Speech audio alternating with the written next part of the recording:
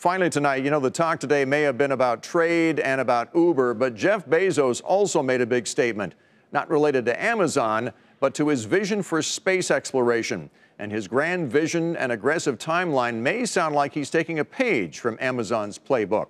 Morgan Brennan has our story for us tonight.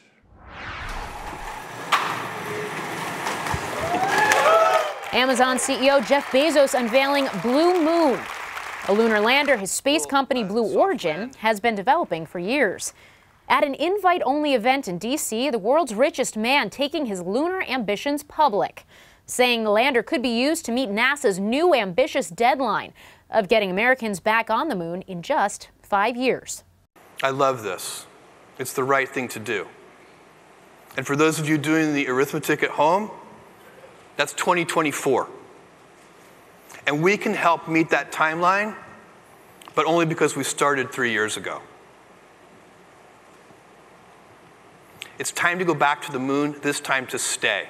In what was perhaps his most sweeping comments to date on his interplanetary vision, Bezos betting on a future in which Earth is utilized for habitation and light industrial use, and space for heavy industry like mining and manufacturing.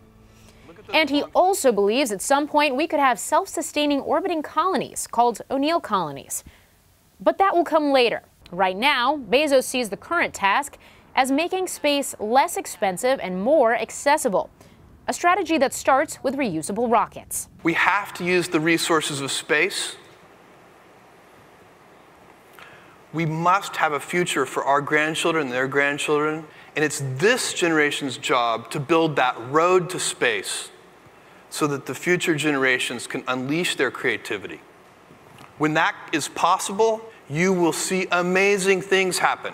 Bezos, who's been selling about a billion dollars worth of Amazon stock annually to fund Blue Origin, also making clear he's not as interested in Mars, unlike Elon Musk at SpaceX.